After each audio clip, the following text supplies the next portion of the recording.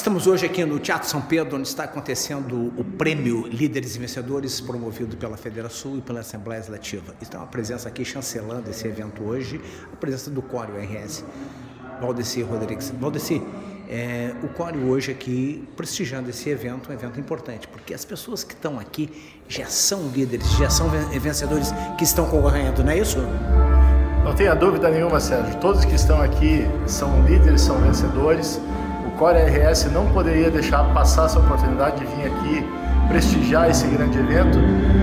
E assim, quem ganhar hoje aqui vai ser muito merecedor. Então, parabéns a quem vai ganhar esse troféu.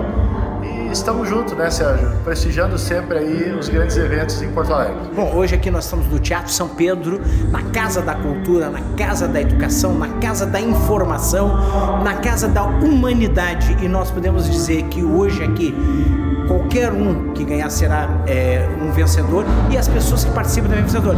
Nós podemos dizer também que as pessoas que estão hoje aqui, tanto no setor empresarial concorrendo, cultural, é, social, todas elas contribuem de uma forma direta ou indireta para o desenvolvimento do Estado, não é isso?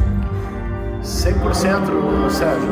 Eu dei uma olhada ali no salão, todas as empresas que estão aqui, todas elas são muito importantes para o desenvolvimento do nosso estado do Rio Grande do Sul. Então, qualquer um, novamente, de novo, como diz, é, quem ganhar vai ser realmente um grande vencedor e quem não ganhar dessa vez, com certeza também é um vencedor. Então, parabéns a todos.